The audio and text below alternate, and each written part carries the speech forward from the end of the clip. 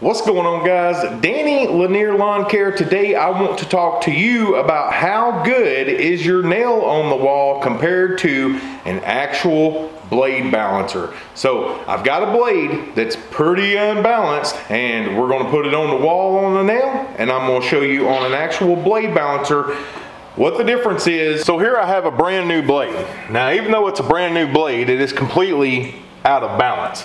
And I just wanted to show y'all that I can hang it on this nail all day long and it's always,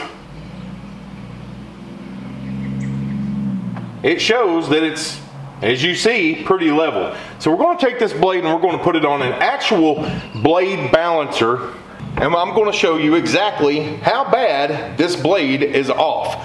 Now keep in mind that just like anything else, this is like a wheel. So when this is spinning under your mower deck, any vibration you are getting is probably from your blade being unbalanced. Once you balance these, you will find that your mower runs a lot smoother. So we're going to let go of this and I'm going to show you on the nail on the wall, it was level. Well, once we let go of this, as you can tell, this side is heavier than this side. So what's that mean? Well, what that means is, is this has more weight on it, just like a wheel, certain part before they put up uh, the little weights on your wheel. And once this is spinning around and around, this vibration starts getting worse and worse. The more it becomes out of balance, the more vibration you're going to get, okay?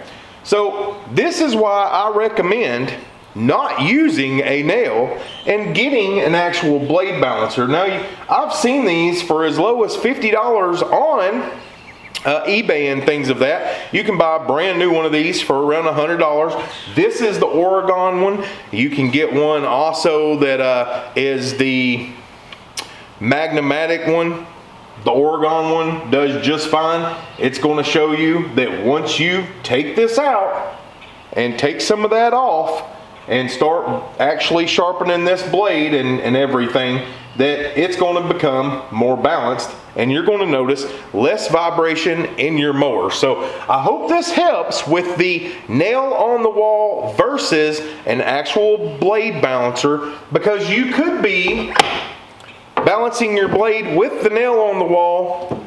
And as you seen, it said it was pretty level there.